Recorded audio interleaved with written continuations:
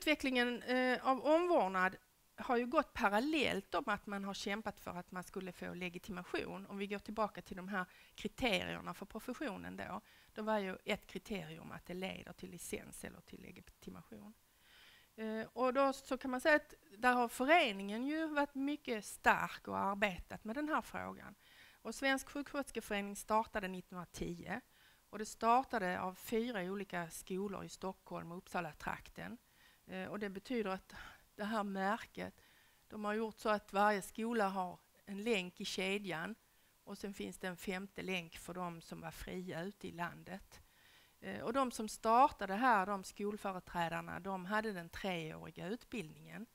Och de ville värna den treåriga utbildningen till motsats från att landstingen startade utbildningar som var tre veckor eller tre månader eller ett halvt år och alla kallade sig sjuksköterska. Eh, och då ville de här som hade den treåriga utbildningen säga att i och med att man har treårig utbildning och man är med i föreningen så är det någon sorts garanti. Eh, och de menar på att man var okänd. Alltså det var okänt vad en sjuksköterska var. Och hur skulle man liksom markera för allmänheten att, att man hade den rätta kompetensen. Eh, och då bestämde man efter ett tag att alla som hade treårig utbildning och som var med i föreningen, de skulle sätta en stjärna efter sitt namn i telefonkatalogen, att man var godkänd.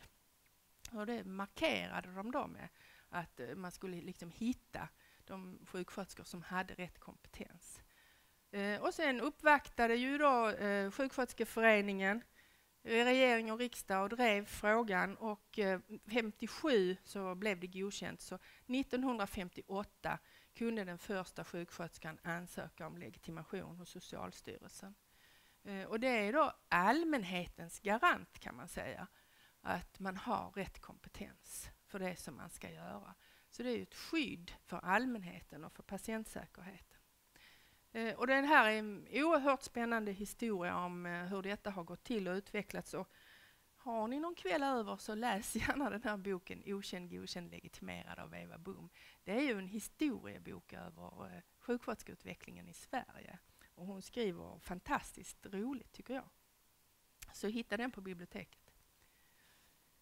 Och legitimationen innebär då att man har ett självständigt yrkesansvar. Alltså man kan inte skylla på någon annan utan man har att ta sitt ansvar. Och det handlar ju då om ansvaret för patientens vård, väl och ve. Och kompetensen som legitimationen garanterar bygger ju då på att man har tillgodogjort sig omvårdnadens teori, praktik, forskning och att man kan ta del av den kunskapsutveckling som pågår hela tiden man bär sin legitimation. Eh, och att man också kan delta i utbildning och att man tar ansvaret för ledarskapet av omvårdnaden. Och det är ju ganska höga krav kan man säga, men allmänheten förväntar sig ju detta av en sjuksköterska. Eh, tänk efter själv om ni går till någon vårdinrättning. Alltså ni ifrågasätter väl inte för ett ögonblick att de inte kan vad de ska där, som ni vänder er till. Och liksom förväntningarna är att detta ska ju ni klara av och detta ska ni hålla på med. Och då är vi ju på den ena punkten där att man värdesätts högt av samhället. Uh, och sjuksköterskeyrket ligger ofta på den här tio topplistan som man gör över populära yrken. Uh, inte bara att det är brist, för då har vi sådana listor också. Men vi har alltså de uh, listor över yrken som har ett högt förtroende hos allmänheten. Och det är polis och sjuksköterskor och åklagare som ligger där. Eh, och det är ju viktigt då att man värnar den här tilliten från allmänheten. Och det har att göra med att man står för vissa saker, att man står för de etiska regler och centrala värden som, som man förknippas med. Att man eh, försvarar de som är svaga och att det utgår ifrån ens kunskapsområde. Och där har vi ju då inom Svensk sjuksköterskeförening arbetat med olika saker för att tydliggöra Eh, och då tycker jag att det här med värden, alltså att man värderas för sina etiska regler och sin värdegrund, att det behövde skrivas fram och visas tydligt att det här hör till det som är omvårdnad. Eh, så i värdegrunden som vi har skrivit då tillsammans med många, många forskare inom området så är det de viktiga teoretiska begreppen. Och det är alltså mötet, lidandet, relationen men också de värden som vi har att liksom hylla och försvara. Och det är för patientens autonomi, patientens sårbarhet, respekt för deras värdighet, att inge hopp och tillit och att arbeta för att man upplever mening. Och det här är ju oerhört svåra begrepp. Bara också att beskriva liksom lite teoretiskt men ännu mer svårt att omsätta i praktisk verklighet. Jag pratade med en eh, sjuksköterska som utbildar sig till barnsjuksköterska eh, och vi diskuterade alltså, eh, ja, varför ska man ha specialistutbildning? Varför vill du eh, utbilda dig vidare? Jo, sa hon, alltså jag vill lära mig mer om de här svåra sakerna, de här komplexa situationerna. Alltså det är ju en sak att ta blodprov på någon liten knatte som är tre år. Men att göra det så att man inte kränker den här lilla personens värdighet eller självbestämmande och att man respekterar att den här personen ska vara med och bestämma och uttala sig och, och förstå vad som ska göras. Alltså det är ju jätteknivigt och svårt.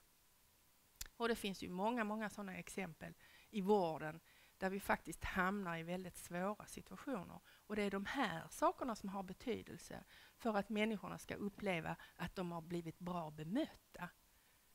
Och det är liksom inte bara att mötet fungerade, att man tittar på klockan och svarar på frågorna och så gick man ut igen. Utan det är ju att man har etablerat en relation och att man också kan hålla fast den och avsluta den bra. Eh, och det ligger i det här med att arbeta med en värdegrund. Och i värdegrunden så framgår ju också att man måste ta ställning för den som behöver vård och hjälp. Och att man står på de som är svaga, deras sida. Och då handlar det också om att alla människor har rätt till vård. Alla människor har rätt till hälsa. Det har Sverige skrivit under i olika lagar och författningar, till exempel inom FN och WHOs uttalande. Och då har vi också tagit strid för mänskliga rättigheter i vården och tillsammans med många andra organisationer till exempel arbetat för att papperslösa ska ha rätt till vård. Och det handlar, tycker jag, om att konkretisera att man följer professionens etiska regler. Eh, och det handlar också om att lyfta upp de här centrala värdena. Och vi har ju etiska regler som reglerar från ICN, alltså International Council of Nurses. Och det kan ni hitta broschyrer om, men ni kan också ladda ner från vår hemsida och ni studerar det i skolan, det vet jag. Eh, och då handlar det om att man sätter sig ner och reflekterar över de här sakerna och kanske diskuterar med andra. Så här ser den ut och ni kan ladda ner dem. Och det, ett av kraven också för att få lov att kalla sig professionell var ju att man tillhörde en professionell organisation.